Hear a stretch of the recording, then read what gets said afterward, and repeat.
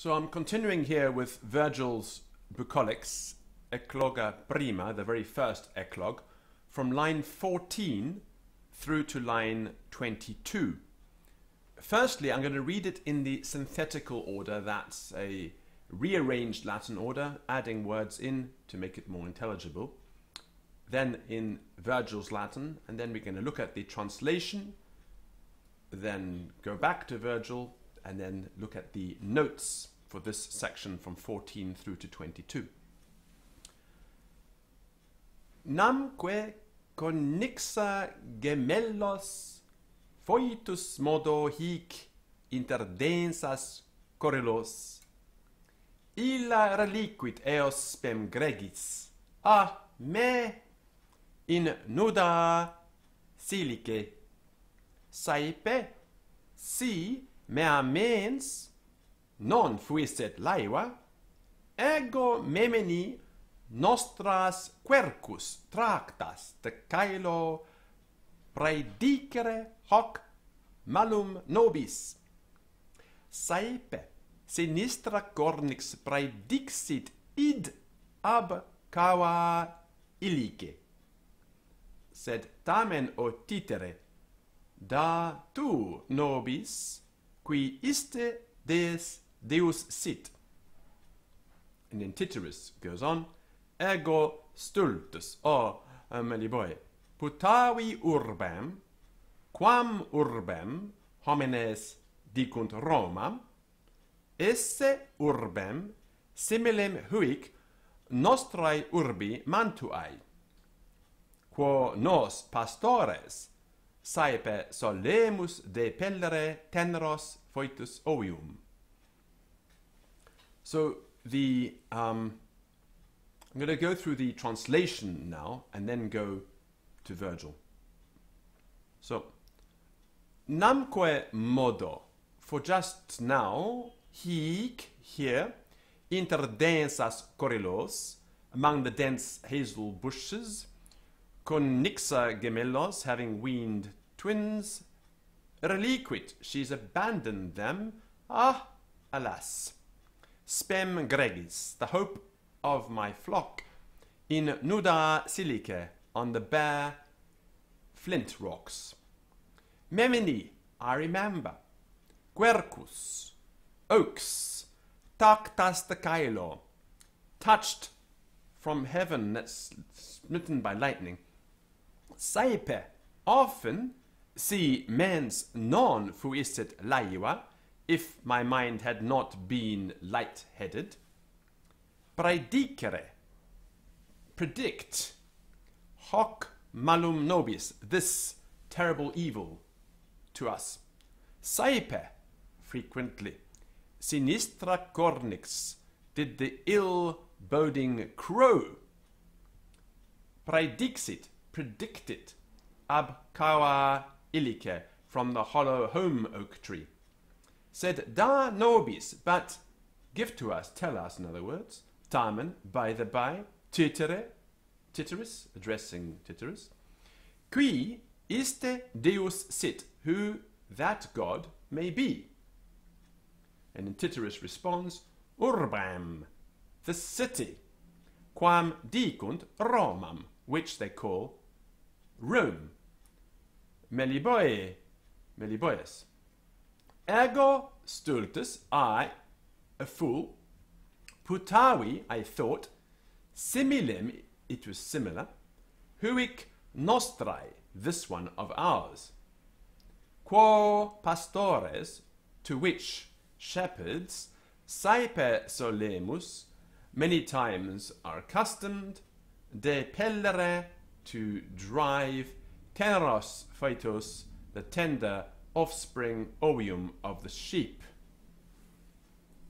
So that's the, pardon me, the translation. Let's go now to Virgil himself.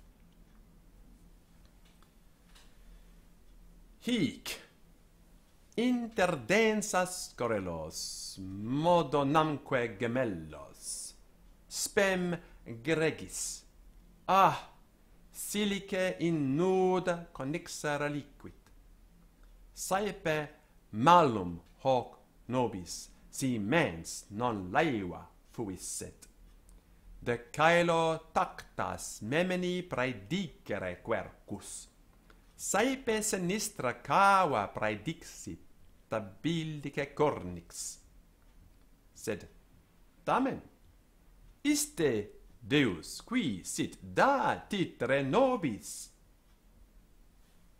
urbam quam dicunt Romam meliboe putavi stultus ego huic nostrae similem quos saepe solemus pastores ovium teneros de pelre foetus. So that's, that's the Virgil in its original form. Um, it's a very beautiful verse. And now we're going to look at Edwards' free translation. Um, for having just now, over there among the thick hazel bushes, weaned twin kids, she's abandoned them, alas. The hope of my flock on the bare stones. I remember, if my mind had not been rendered silly, that our oak trees wrecked by the lightning, did repeatedly predict this disaster on us. Frequently did the ill boding crow predict it from the hollow ohm oak tree. Yet, give me to understand, Tityrus, who that god of yours is. And Tityrus then responds, The city which they call Rome, uh, Meliboeus, I foolishly imagined to resemble this of ours to which we shepherds are often accustomed to drive the tender young of our ewes. And then the notes on this matter. So Servius says that conixa is here used for enixa to avoid an hiatus after nuda. And Lacerda says that conixa, independent of this, is preferable to enixa as it expresses a difficult delivery or birth. So that's the um, hic interdensas correlos modnamque gemellos spem gregis a silice in nuda conix liquid. And the next thing, laiva, silly, incredulous, stupid. Servius interprets it contraria, as in wayward, um, not following the rules. This adjective is ambiguous in its meaning, sometimes employed, as it is here, to uh, predict evil, and sometimes, as in the second book and the ninth books of the Aeneid, to um, denote goodness. This difference can be attributed, says Edwards, to the difference between the Greek and Roman manner of predicting the future of augury, as the former always considered the right hand to be auspicious, and the latter, on some occasions, the left hand was auspicious. Verse 18 is lacking in several of the oldest manuscripts. So, verse 18 is Saepe sinistra, cava praedixit abilice cornix. So, it's missing in some manuscripts. Perhaps some transcriber inserted it here as being very appropriate when he found ante sinistra cava monuisset abilice cornix in the ninth eclogue, verse 15. Um, and we shall speak of the crow and of right hand omens and left hand omens when we come to that verse eventually. The ilex is a species of oak tree, and in English it's called the holm oak, H O L M. Iste Deus, that God of yours. So ille Deus would be that God of his or hers or theirs. And hic Deus, this God of mine or this God of ours. And yet many copies of this manuscript have ille for iste, and some have quis for qui, da and accipe are often put for dic and audi so there are variations in the manuscript tradition of, of this. Romam, Rome, which by the best usage is pronounced as if written room in, in English. Room. Rome was not built in a day. This city in the days of Augustus is said to have been 50 miles in circumference and a population of approximately 4 million. Stultus ego, I foolish man.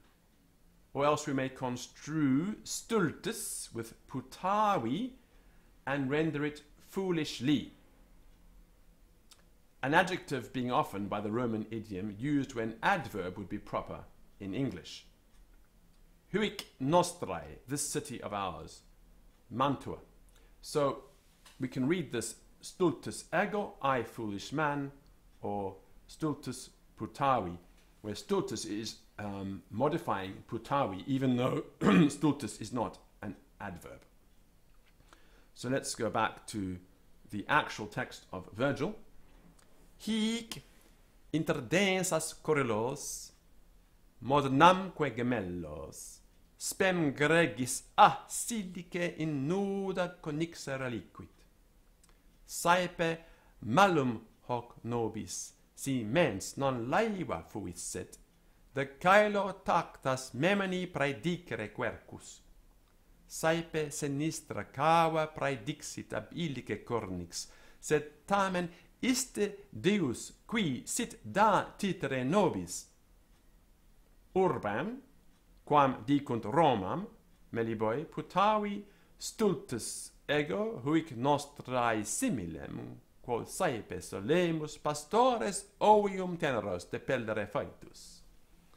And finally, before I leave this section, I'm going to read over the synthetical order once again. Namque conixa gemellos foetus modo hic interdensas correlos illa reliquit eos spem gregis a me in nuda silice saepe si mea mens non fuisset laiva, ego memini nostras quercus tactas de caelo praedicere hoc malum nobis. Saepe sinistra cornix praedixit id ab cava illice, sed tamen, o titere, da tu nobis, qui iste Deus sit. And then Titerus responde ego stultus o meliboi putavi urbem quam urbem homines dicunt Romam esse urbem similem huic nostrae urbi Mantuae. Quo nos pastores saepe solemus depellere teneros foetus ovium. And that brings us to the end of this section up to line 22